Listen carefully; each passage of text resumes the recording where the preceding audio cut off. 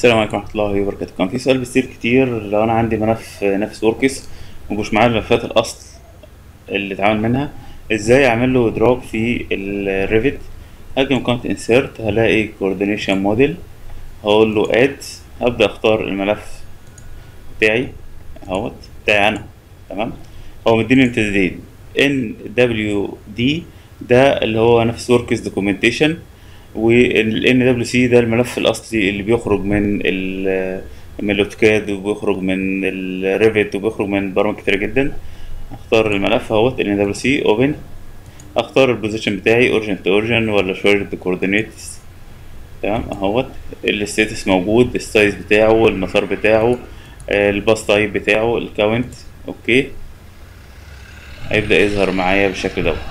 ده كان معمول على AutoCAD Plant 3D وصدرناه ل Navisworks ودخلناه لل Revit زي ما أنتم شايفين